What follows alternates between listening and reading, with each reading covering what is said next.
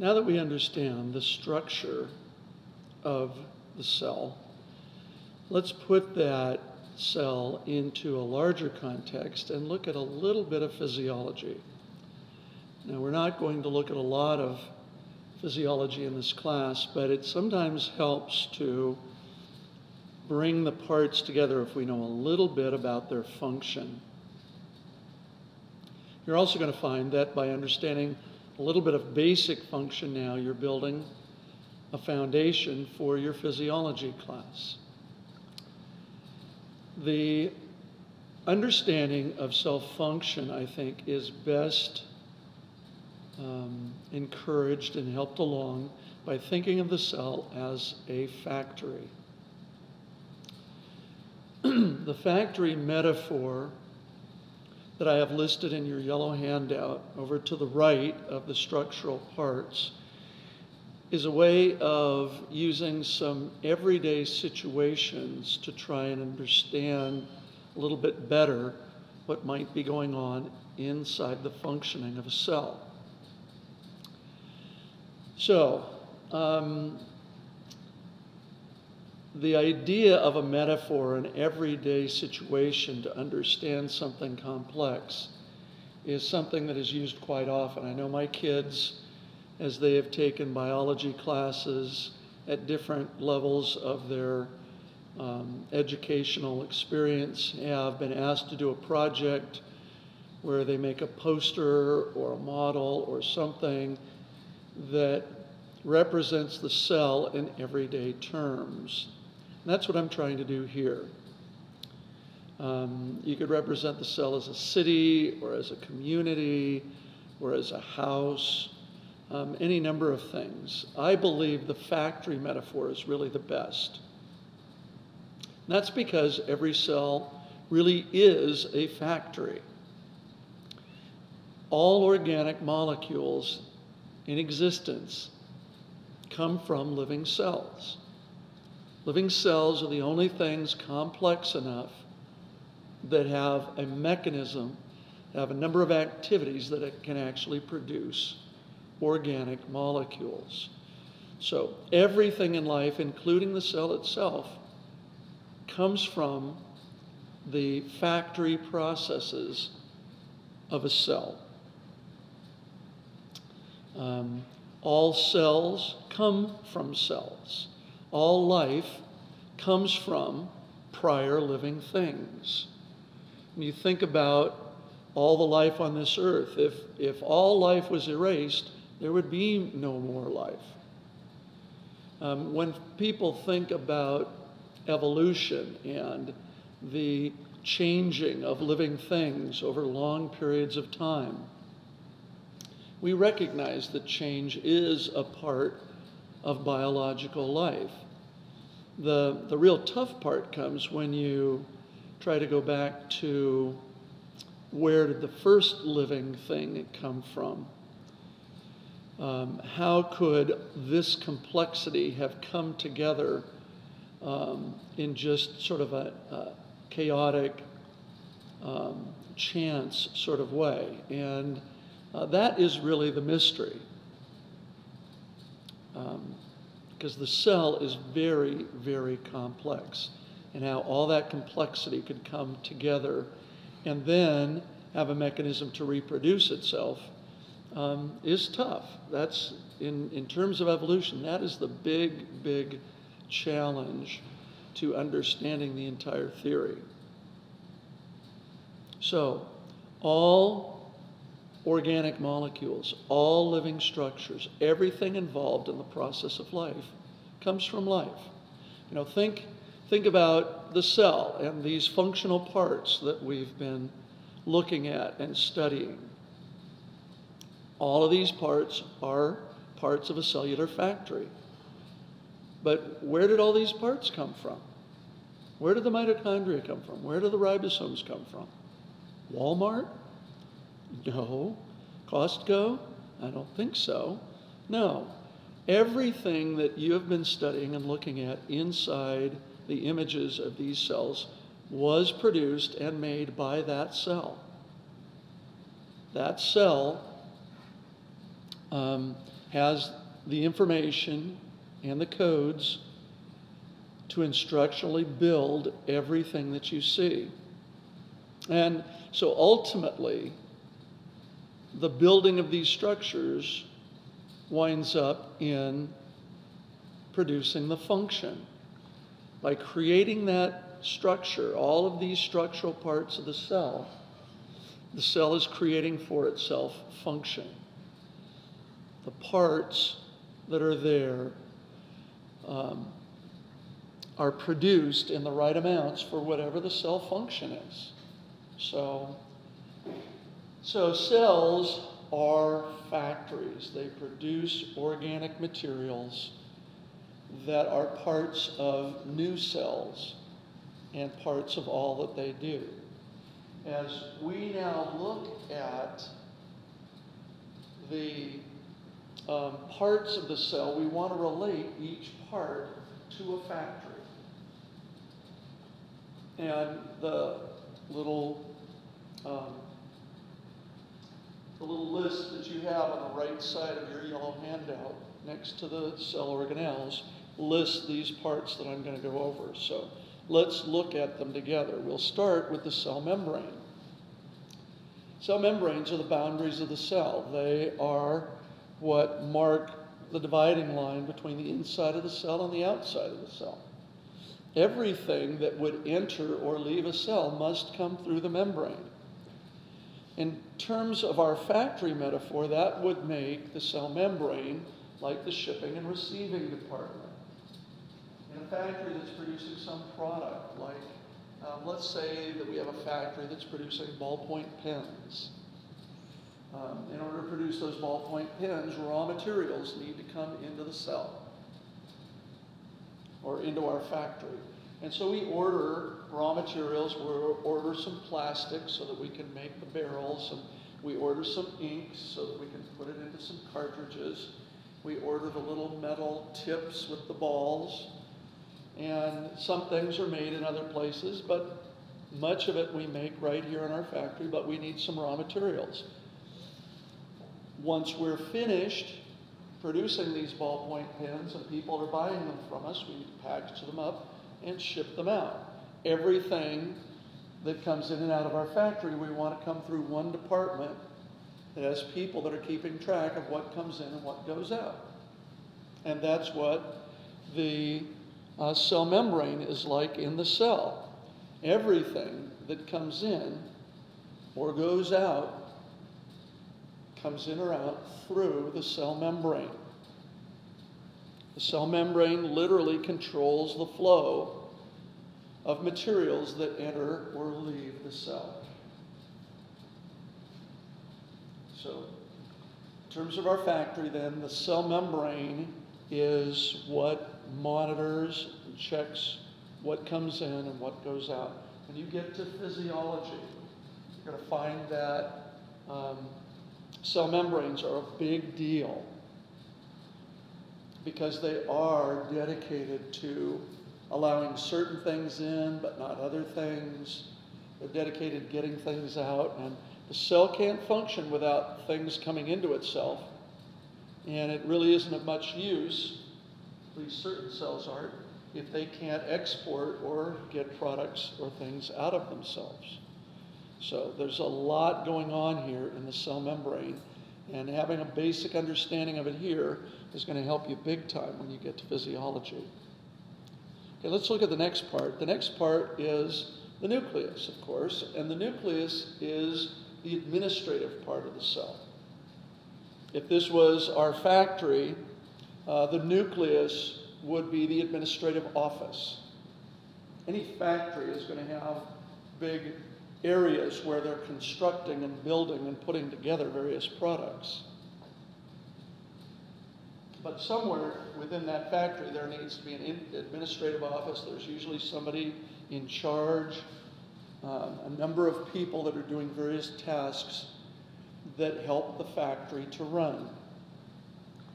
So that's, that's what the nucleus is. All control of activities are there. Um, there are going to be blueprints there. If something in the factory breaks, you may need to go you know, look up some, some things on a blueprint to figure out um, where the problem is. Um, all of the production information, how to put, how to make the barrels of these ballpoint pens, how to put them together. Um, if you were putting together something like an automobile, there would be a specific sequence that, that, that things should happen in in order to get that all put together properly. So there's going to be production instructions. Um, there are going to be um, other bits of information that all relate to the functioning and the working of, of the factory. And all of this is housed within the nucleus of a cell. So the nucleus of the cell has several parts to it as well. So each one of these parts has something to do with the administrative office. So for example, the nuclear envelope is the physical structure of the office. In terms of the cell, it's what keeps what separates the cell from the cytoplasm, or separates the nucleus from the cytoplasm. So um, if you look closely at the nuclear membrane, you'll actually see that it's double walled, but in places there are little openings. You'll see little gaps along that double walled membrane, um, which are like doorways so that things can enter and leave the nucleus. But still, the nuclear envelope um, is like the wall structure, um, the physical structure of the administrative office. The chromatin, on the other hand, is the blueprints and the instructions. Uh, we know that chromatin is uh, uh, made up of a molecule called DNA.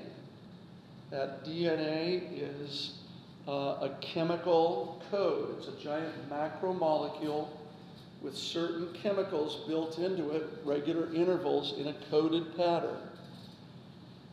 And so all the information for everything that happens within the cell happens there with DNA. Now, how did this enormous macromolecule happen to come together without a living thing to put it together? That's, that's another question. It's very difficult to answer. Um, enormous molecules with coded instructions like this. Um, it's very difficult to think how would those things come together. Um, so all of the information, blueprints, instructions, everything is coded into a chemical called DNA.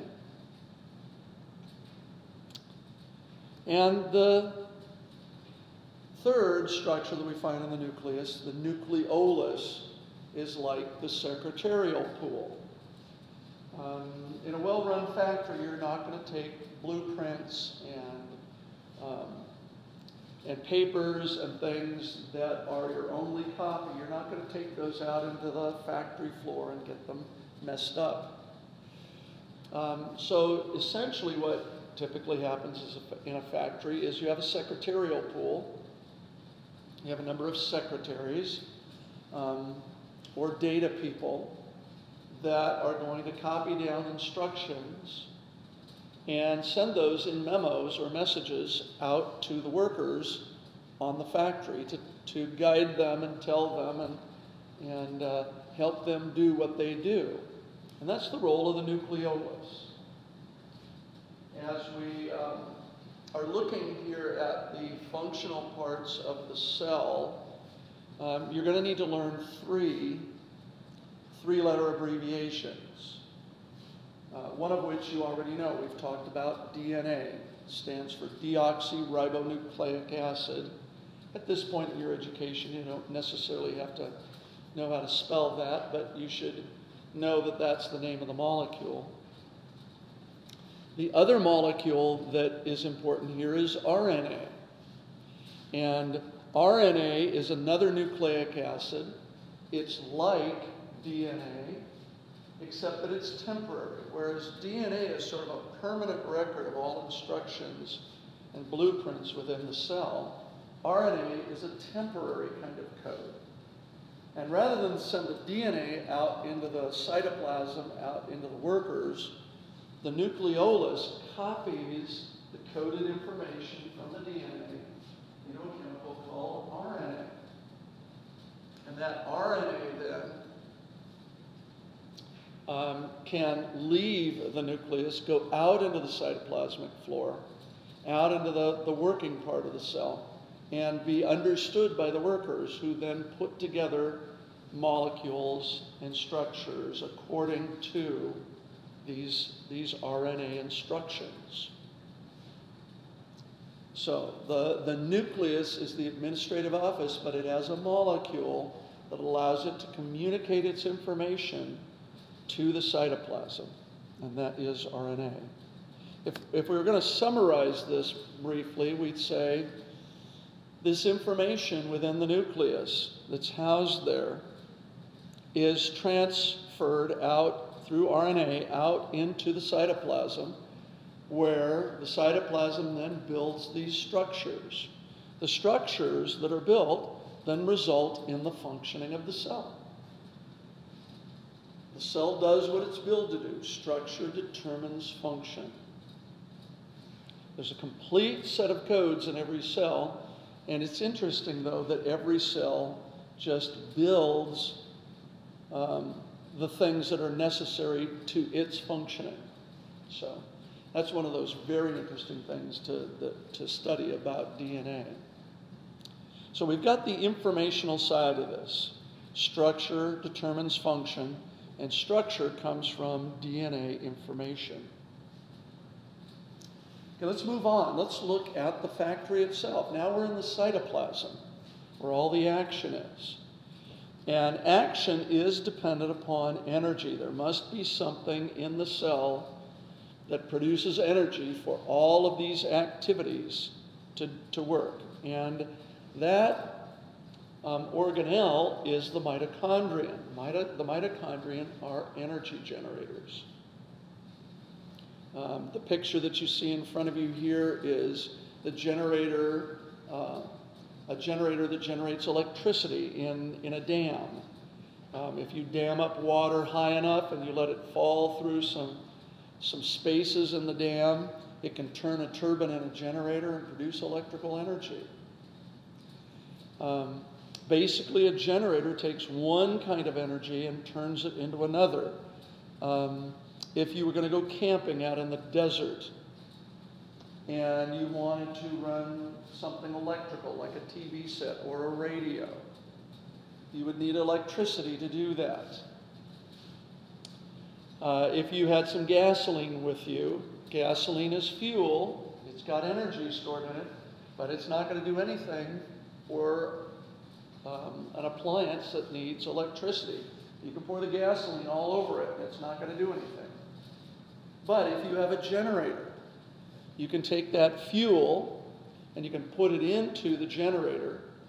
It will cause the generator to work, and the, the generator will produce electricity. You didn't have any gasoline, you couldn't have any electricity. But essentially, if you get right down to it, the generator is changing an energy that is stored in a fuel like gasoline into another type of energy called electricity. And that's what you see happening here. Now, the mitochondrion does essentially the same thing like this. Right? The food that you eat is processed by your body and ultimately winds up, some of those food molecules wind up inside the cell.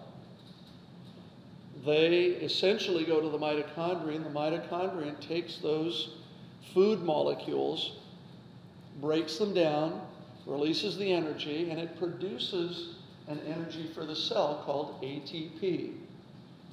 Here's that third three letter abbreviation I was telling you about. At this point, I don't think it's, it's important that you actually know what it is. You'll learn this in physiology. But at this point, you need to know that every activity in the cell runs on ATP. And essentially, the mitochondrion is that generator taking the food fuel and producing the ATP energy that runs the cell. So, that's the energy generator. Now, next we have the endoplasmic reticulum. These are actually the assembly lines. This is where things within the cell get built. If you've ever seen a movie or a picture or a video of an assembly line, um, the typical one that you might see is one um, in a car or an auto manufacturing plant, where the body of the car comes down a line, it's moved on a conveyor belt or whatever, and workers or robots step up and one at a time add some part to the car so that it slowly but surely becomes built into what it's going to be. Something like that is happening in the cell, molecule by molecule. Um, parts within the cell are built little by little by little. And they're built along these, these assembly lines, the rough and smooth endoplasmic reticulum. And the ribosomes are the workers. The ribosomes are the physical structures that can read the RNA code, that temporary messenger information sent from the nucleus. They can read that and take very, very simple molecules in the cytoplasm and build these big complex organic molecules that are needed. The rough endoplasmic reticulum are, of course, the assembly lines with the workers right on them. The ribosomes that are attached to the endoplasmic reticulum are literally building the products. Sometimes you see ribosomes just um, out loose in the cytoplasm. Uh, you, you should probably think of those ribosomes as being on a coffee break. They're not right on the assembly lines at that moment working.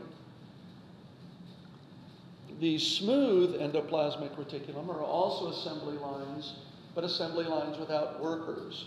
Typically, the smooth endoplasmic reticulum lead away from the rough endoplasmic reticulum. So, whereas the rough endoplasmic reticulum builds all of these molecules, many of these molecules will self-assemble later on. And so as they pass through the smooth endoplasmic reticulum, various molecules that have an attraction or an affinity for one another will come together and produce bigger and more complex molecules.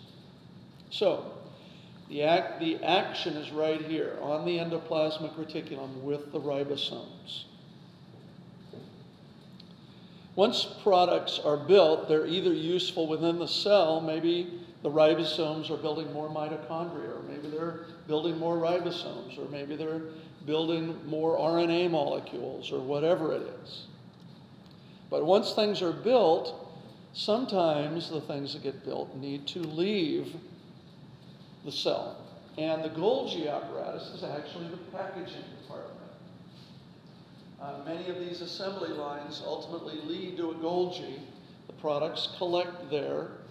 And if you remember the structure of the Golgi, it's got these thin little walls that have the product inside, and then they pinch off little bubbles from the end of these little walls. And those little bubbles then contain the product. And it's just like kind of putting, um, if we're going to ship some ballpoint pens, we want them to go somewhere, we're going to put them into a cardboard box and seal that up, and that's going to get shipped out. Very much the same thing. So you want to think of the Golgi as the packaging department of the cell. Then we come to the vesicles. The vesicles are the storage chambers. Um, every factory is going to have to have some places, some rooms, closets, parts of its building where it's going to store either raw materials that are coming in or where they're going to store the product that they've just built before it gets shipped out. And so most cells have within them vesicles which are storing things for the good of the cell. If you were to look at the muscle cell, the vesicle there is storing energy for the working of the cell. If you look at a fat cell, there's a big vesicle there that houses the fat that the, uh, the cell is storing. Um, if you look at the vesicles in the white blood cell picture that we've studied, those are, um, there are two types of vesicles there. There are the ones that are taking in the bacteria, trapping them within the cytoplasm of the cell. And there are those vesicles that are the sort of post digestive bacteria. After the digestive enzymes mix with them, you just have a vesicle full of organic molecules. So think of vesicles as the storage chamber and storage places within the cell. Finally, the lysosome. Lysosome is a tough one because uh, it doesn't fit the factory metaphor very, very well. Um, you know, lysosomes contain digestive enzymes. And so, like in the case of the white blood cell, where, white, where the bacteria come in, they need to be processed. They need to be broken down. Maybe this would be like um, maybe a steel manufacturing plant that doesn't get iron, but gets iron ore, gets the rocks and the rubble from a hillside that has iron in it. And so they have to process it. They may have to add certain chemicals or heat it up a lot. And, and so that gets processed, and out of that then comes the raw material that they can use for production. Might be kind of what this would be like. Um, the lysosome is also thought of in, in many biological circles as sort of a self-destructive mechanism. We do see lysosomes in cells that don't have any um, anything to digest. And so we kind of wonder what they're doing there. It may be that as cells age and get older, um, as cells themselves finally die, um, all of their organic debris could cause some problems if it wasn't broken down. It could be that when the cell dies, the lysosome breaks open, and those enzymes then begin to digest the remnants or the old physical structure of that cell. So we don't have a lot of cells hanging around. So um, sometimes they're called suicide sacs. Although I don't think it's sort of a um, may not be that sort of concept where the cell gets to a certain age and then opens its lysosomes to kill itself. Um, but it may be that, that when cells die, this is a mechanism to get rid of the rest of the cell. So lysosomes are tough. They don't fit this, um, this metaphor perfectly. But everything else we've talked about really, really does. And you, you know, you want to go back and maybe put this all together. Uh, let's let's kind of get the big picture one more time. Um, we know that the cell is a factory, that all living things, all organic molecules in existence come from the factories of cells. But all of those molecules are all built according to instructions, instructions that are found and information that is found in the nucleus of the cell. That information is in the form of DNA. And that DNA does not leave the nucleus, but the chemical codes, the information from that DNA is written into another chemical called RNA.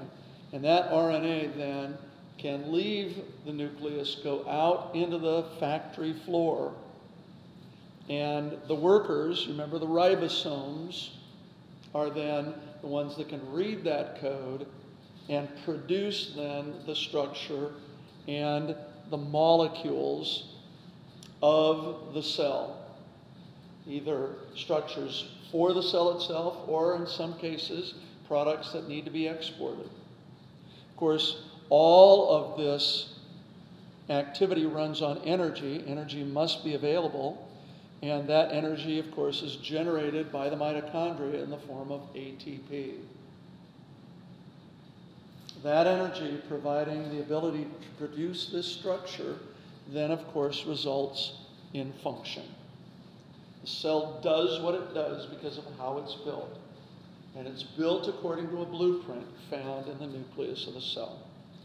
So when you have this big picture, it's fairly easy to understand how the parts of the cell all work together than to form the function of the cell. So these are all concepts and structures and ideas that are going to serve you well and serve you in a foundation for both this class and in your physiology class. Okay? Good. Uh, let me know if you have questions.